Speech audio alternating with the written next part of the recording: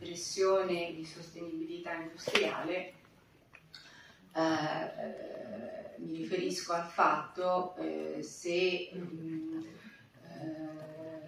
eh, immaginate che um, tutti i costi, dalla, uh, dai costi di trasporto, dei principi attivi, dell'alluminio, della carta, del personale, eh, dell'acciaio, quindi dei nuovi macchinari, delle manutenzioni, tutti questi costi sono aumentati, il costo industriale dei farmaci, il costo distributivo, il costo di stoccaggio, il costo uh, di, di, di, dei, dei nostri impianti, è tutto aumentato.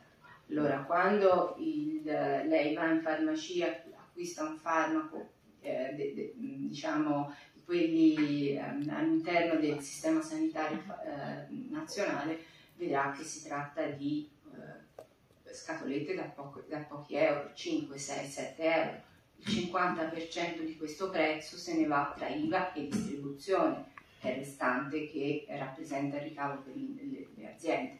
Allora, se questo è un settore strategico è anche importante mettersi a tavolo e poter ragionare un attimo su un recupero eh, ancorché piccolo dell'inflazione.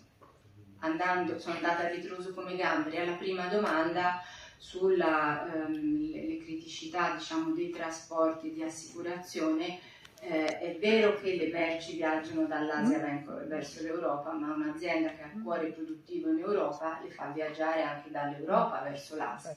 E quindi questo è, è, è vero in entrambe le direzioni, quindi i nostri prodotti finiti spesso ci troviamo costretti a utilizzare il vettore aereo che ovviamente ha costi eh, molto diversi. E torniamo al punto di cui prima, eh, per cui l'impatto in e out eh, si fa sentire.